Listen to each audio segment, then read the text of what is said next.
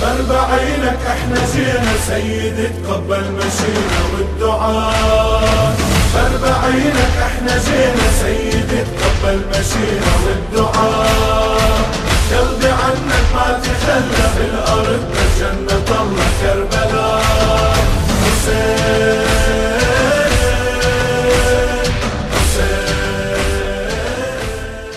Great Arba'in pilgrimage this year. As officials have stated, this year they are expecting 28, 27 to 28 million to enter Karbala. This year, when you talk to people, they say it's more packed than last year. Hopefully, we can get to understand why Arba'in is so great and why every year people are flocking millions after millions and more every year. Why do they do that?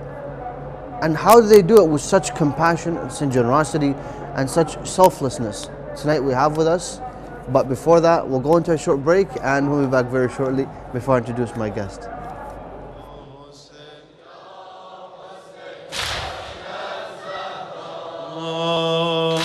ای چشم و دست و ماه دلارا فدای تو ای عمر و حاصلم همه نظر بقای تو ای عمر و حاصلم همه نظر بقای تو.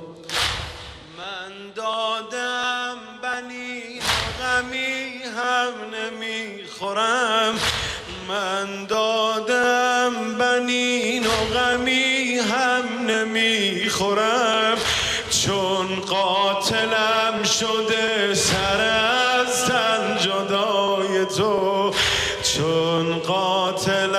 شده سر از تن جدای Welcome back, ladies and gentlemen, brothers and sisters. Once again, Assalamu alaikum wa rahmatullahi wa barakatuh. We are live from the holy city of Karbala, covering the great Arba'in pilgrimage and bringing to you the atmosphere prior to the day of Arba'in. Tomorrow is the uh, blessed day of Arba'in, where the believers are gathered in the holy city of Karbala to commemorate the 40th day after the martyrdom of Imam al Hussein. Peace and blessings be upon him. As you can hear, uh, the sirens are behind uh, behind me right now. Uh, hopefully, inshallah, nothing has happened. Um, it's probably something minor. But today I have with me a very special guest uh, from the UK, Dr. Shabbir Tejani. Habibi Mullah. How are you? Assalamu alaikum. I'm very well, thank you. You good? Alhamdulillah. Alhamdulillah. How did you find the walk to Karbala? Um, it was challenging. Yeah? That's my I've done the walk. Um, Uh-huh. And uh, there was a lot, there was a bit of a, a sickness bug going around, so I've caught the same thing. So, Alhamdulillah, Alhamdulillah. They say whenever there's a challenge, there's acceptance. So Alhamdulillah. Inshallah, definitely. Hopefully, the ziyarat's accepted. Definitely. Why walk this year instead of. Uh, normally, when I come, I come with very few days, so five, five or six days. So generally, what tends to happen is I spend the day traveling, come straight to Karbala, and then I have programs and, and so forth. Um, but this year, Alhamdulillah, we had ten days. So I came early, came to Najaf, and then I decided to do the walk. MashaAllah. Nice. Now, a lot of people, when, uh, when they speak about walking, uh, they mention the fact that when you're walking, remember the footsteps of Zainab? Yes. And remember the footsteps of the family of Muhammad alayhi salam.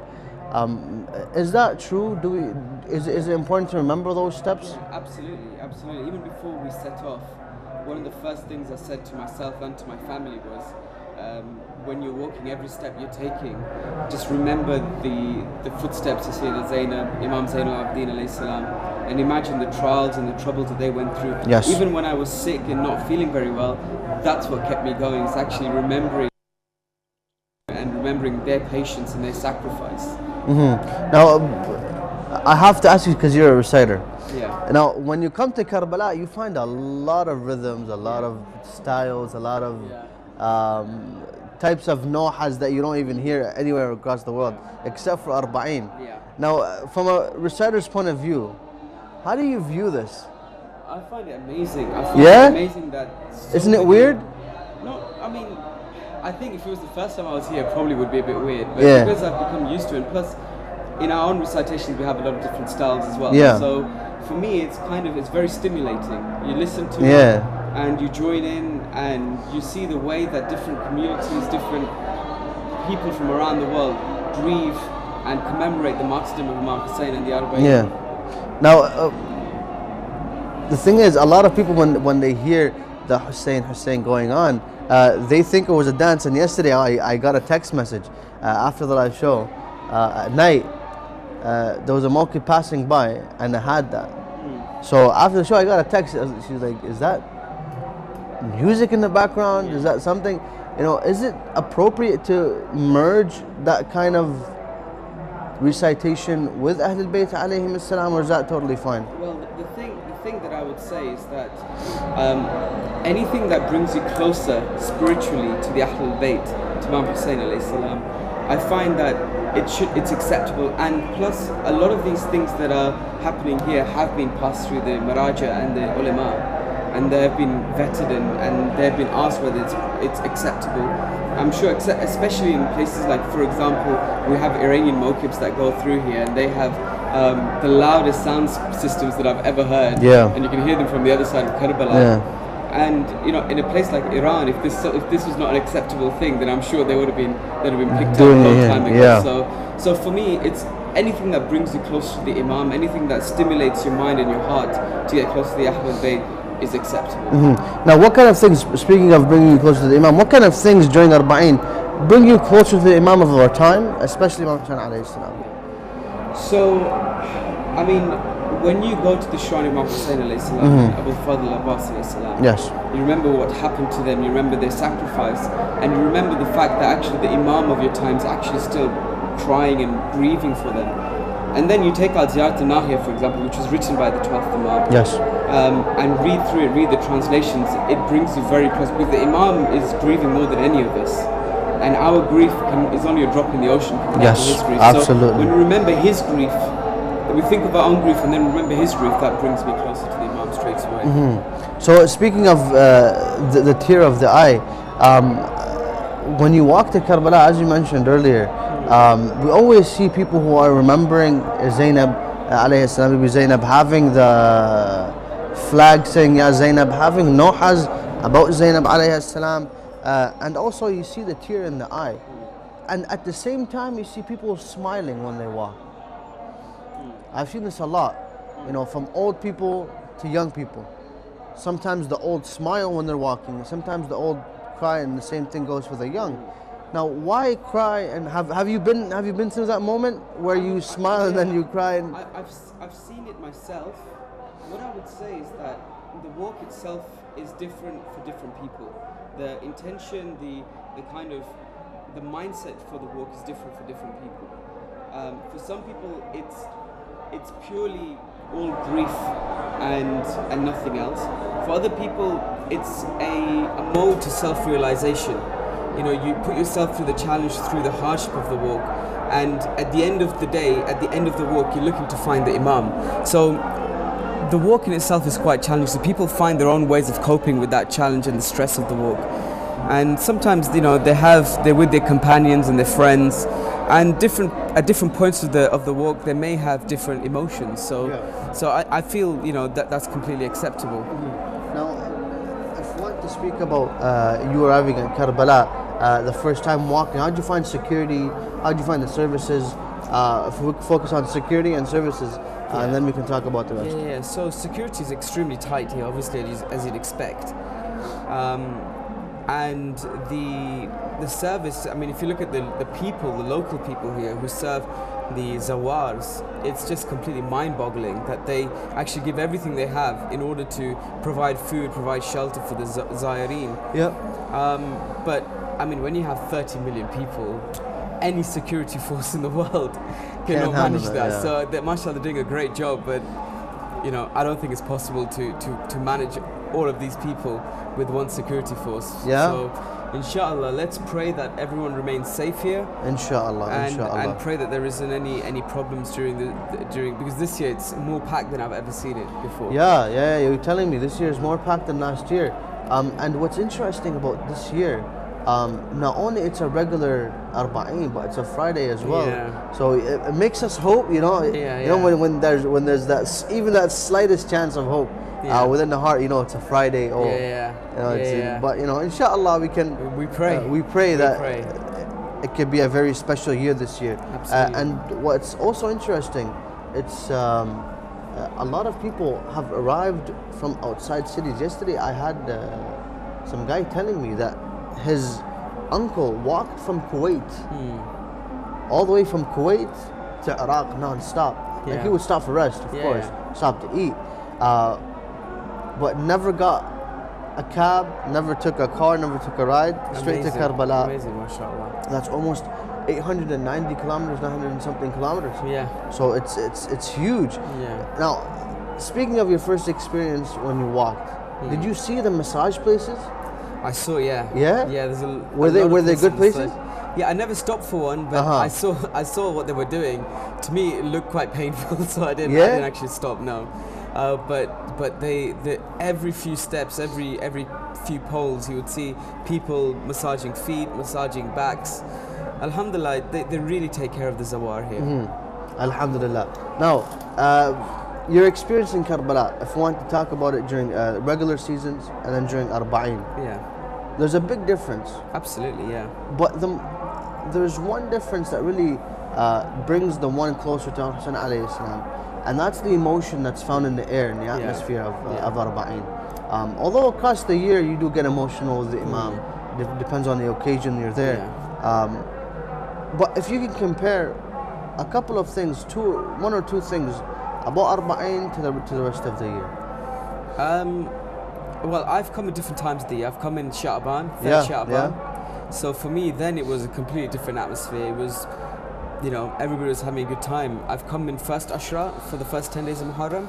It's not as packed, but again, there's a lot of Yeah. sorrow and grief in the air. And then Arba'in is just something completely different. Arba'in is just, just people, just so many lovers of the Ahlul Bayt, millions and millions and millions of people, and you just bounce energy from each other. And obviously, the shrines there is just a magnet which pulls you all in. Yeah. It's just amazing to see. So it's completely different feeling to different times of the year. But Arba'in for sure is probably the most intense time, I would say. Yeah? Why? It's just the pure number of people, number one. Number two, like you said, there's there's a different feel in the air. You get this as for as long as you're here, you just feel nothing but grief and mm-hmm. sorrow and everyone else is in the same mood. You see the shrines, everyone's just flocking towards the shrines. It's completely different to anything else I've ever experienced. Now, as a doctor, do you have fear when you eat from a mokib, or do you have fear that if you're sick, where are you're gonna go? Yeah, uh, you know, I mean, I, I, take I was some sick. medicine. I was sick this year. yeah. do you bring um, meds with you, or do you just rely on the meds here? Well, I didn't, but luckily my, my wife did. Oh, so, okay, so, so that was actually a saving grace. But um, yeah, I, I mean, what you have to do is just give leave everything in the hands of the imam. There's nothing you can do. I mean, you have to stop and eat. Whether you eat in the hotel or eat at Mokib, the chances of problems with the food is the same with both places. So you just you just pray that everything's okay and So just I'm- continue. Tell us some medical tips. Medical tips. If I knew, then I would have used it myself. But I guess the main thing is to I try and stay away from meat. So that's the first thing I do. Try and stay Mm-hmm. What away kind from of meat any meat. And in general? lamb, whatever. Yeah. in general? Uh, the other thing I try and do is That's something difficult From, for the Arabs. yeah, stay away from dairy, Ah. milk. Yeah. Yeah. Okay. Yeah, because uh, sometimes not pasteurized properly. Uh, those are the two main things, and uh, if you if you The find two main things that are served in the mokib Yeah, is yeah. meat and, and dairy. Yeah, yeah. So the only thing I'd usually have is is, is tea and then shorba. Ah, shorba in early mornings. Yeah, yeah, yeah. So that's kind of my staple. That's the only thing I eat. That's it? Mokibs, yeah. Where you get your nutrition from? Yeah. That, that's probably why, why you're sick. yeah, yeah, yeah, probably. Um, but you know, Alhamdulillah Rabbil Alameen. Uh, the, the other uh, idea that I want to talk about is the atmosphere that we're seeing in the screen right now. Yeah. When someone from abroad, you know, uh, you can't live here, you know, due due to your occupation and your job. Uh, but for someone living in abroad and he's not able to come and view what you're seeing right now, Yeah. What would be his feelings? Well, what I would say is number one, you would be amazed at the intensity in the air. You can't feel that from the TV screen. It's just nothing but pure raw, raw emotion. Everybody's chanting and, and crying and reciting, and and you can't feel that from a TV screen. And also, it's kind of when you're in Karbala, just the this the, the, the feel in the air, that emotion that, that you feel in the air, you can't get from the TV screen. What I would say to them is that just look at how many millions of people come every year. If it was something that they could get from a TV screen, they wouldn't be coming. Oh yeah, oh yeah, oh yeah. That, that was a very good point you made. But inshallah, we'll continue this. But after this short break, so let's do that. Respective viewers, do stay tuned. For we'll be back very shortly after this short break.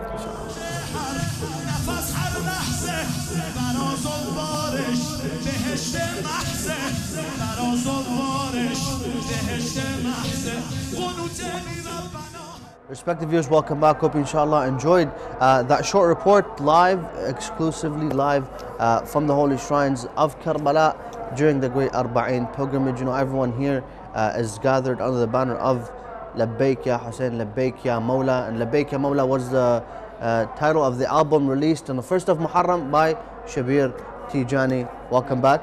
Thank How you, doctor? Very good to have you. Alhamdulillah, very good to be Alhamdulillah. Uh, now, I know you've prepared some uh, nohas for us Yes. uh, that relate to Arba'in, so Yeah. you know we're looking forward for that. Uh, but before we get into Noha, I want you to comment um, for the people that can't couldn't make it this year. Yeah. Um, you know, so they can feel uh, the spirituality of, of being here, Yeah. uh, but yet at the comfort of their homes. So it would be good if we can have some inserts uh, as well uh, as uh, doctors' uh, Yeah, comments. just looking down at the screen, inshallah, I'm sure we'll have some, some views of the shrine itself Mm-hmm. from inside the shrine. But as soon as you go in, all you can see, well, even before you get in, you just see a flood of people. Um, when you try to get through the gates to get into the shrine, you, sometimes you can't even do that. But as you can see in the in the pictures, there's mokibs that are passing through. You see that they're actually separated with barriers. So as they're walking through, you see those strings on either side of them, and then there's a platform where the reciter is standing, and each mokib has their own flavor, their own Yeah. way of recitation. Yeah. Each language, each culture has a different way of, of, of doing the grieving and the matam for Imam alayhi salam. And from each and every single one, mentally and, and physically, you feel filled with grief and sorrow. Yeah. So, for those of you who haven't been able to make it, inshallah, may Allah give you the visitation of Imam Hussein soon, and may you especially get to visit during the time of Arba'in because these sort of mokibs you don't get at any other time of the year.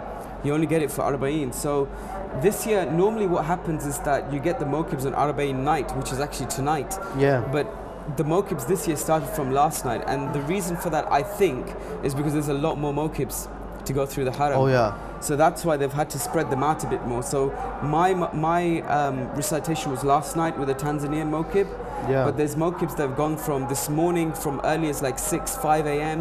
Wow. through the day. They'll be going through the night until tomorrow morning. So just goes to show you what sort of what sort of emotion there must be in the shrine. Wow. And to be honest with you, because of these mokibs passing through, to get space to even get inside the shrine is difficult. So Very difficult.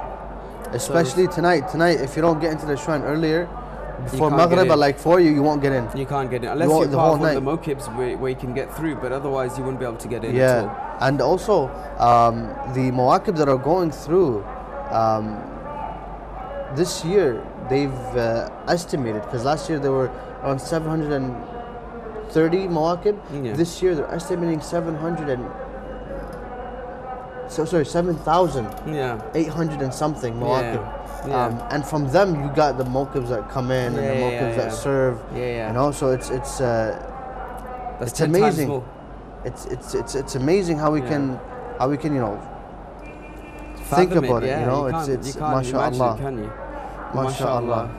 May Imam protect them all and and keep them all, all safe because obviously with the world the way it is at the moment and the persecutions of the loves of the Ahlul Bayt, um, you know, this is this is uh, inshallah we pray for their safety inshallah. Inshallah, I mean, hopefully everyone is safe around the world. Because Yeah. honestly, when you love Imam Hussein alayhi salam, unfortunately, people have looked at it as a way of, you know what, if I, if I, if I love this person, I'm gonna be in affliction. Hmm. You know, I'm, I'm there's harm gonna Yeah. reach me, but at the same time, you're loving an individual who sacrificed everything he has for you, Yeah. and that's what we need to think about. Yeah. Uh, now, if you can bless us with a few verses uh, from which poem you were reciting for It's us called today? On Our Way. Uh huh. Okay. It's uh, regarding the walk. So um, this was actually written specifically for the walk. So inshallah, because this show is m- more about the walk to Karbala, Yes. I hope the listeners at home uh, pay attention and get a feel of what it's like. Inshallah. Uh, inshallah. صلوا على محمد وآل محمد. اللهم صل على محمد وآل Karbala, we are on our way to you, Ya Hussein.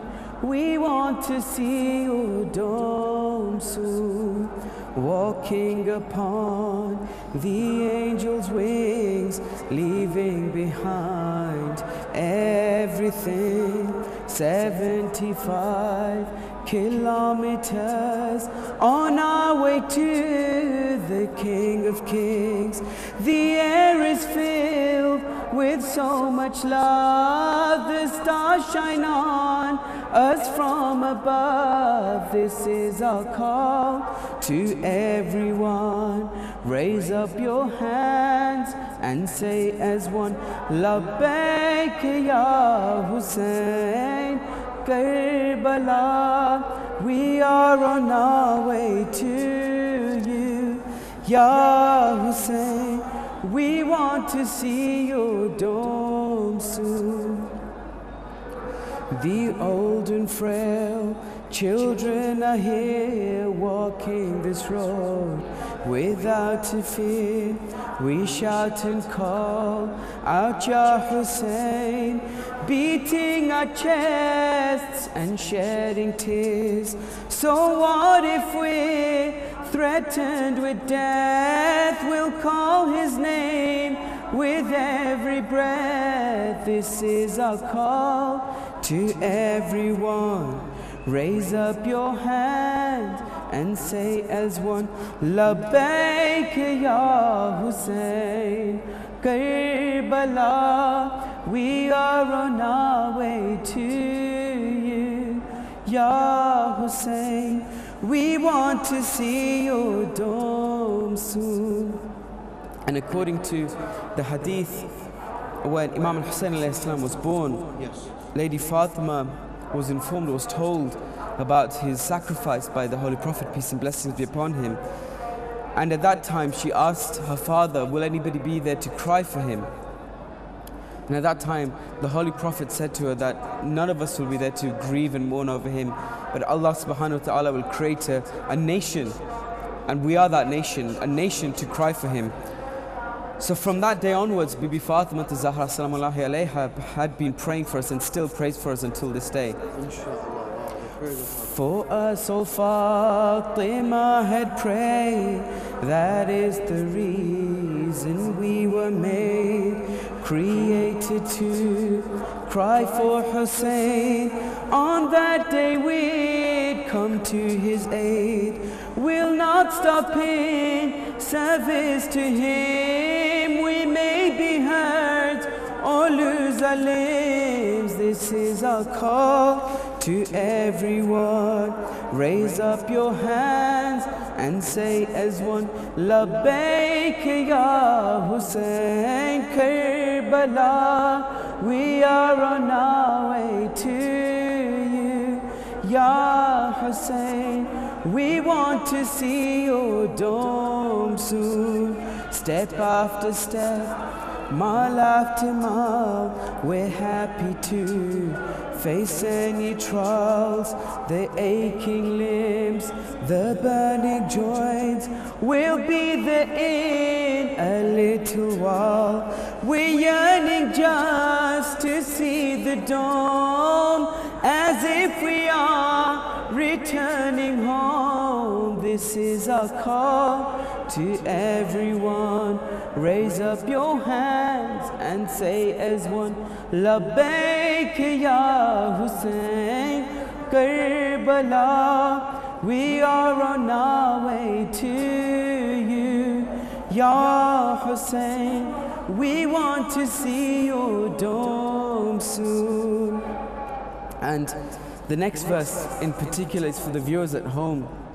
So you get an idea or, or a flavor of what it's like when you reach Karbala. When you get to that final post and you see the holy shrines in Bain al-Haramain.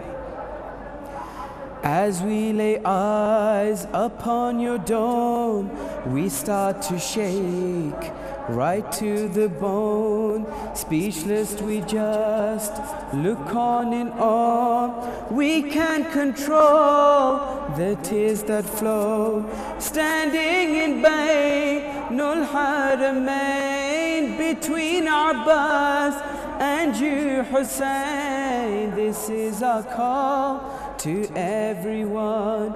Raise up your hands and say as one, لبيك يا حسين. اللهم صل على محمد وآل محمد وعجل Beautiful فرجه. recitation, you know, when, when to hear uh, the the actual feelings of what the Za'ar goes through. Yeah. Uh, with the ones who are at home who haven't seen Karbala and then they reach Karbala. It's um, it's uh, it's very emotional at the same time. Thank you very much for joining us tonight. Thank Uh, you know, very it's, it's it takes dedication to do what you do. No, and inshallah, alhamdulillah. may Allah subhanahu wa ta'ala give you the will to continue serving Ahlul Bayt alayhim uh, in the way you do. Thank you very much once again. Uh, respective viewers, thank you very much for tuning in. Hopefully, inshallah, we can uh, learn from individuals like Shabbir and from individuals around the world uh, to serve Ahlul Bayt alayhim and to always never forget the Imam of our time in our du'as. Thank you very much. Wassalamu alaikum wa rahmatullahi wa barakatuh. أربعينك إحنا جينا سيدي تقبل مشينا والدعاء أربعينك إحنا جينا سيدي تقبل مشينا والدعاء قلبي عنك ما تخلى في الأرض الجنة الله كربلاء حسين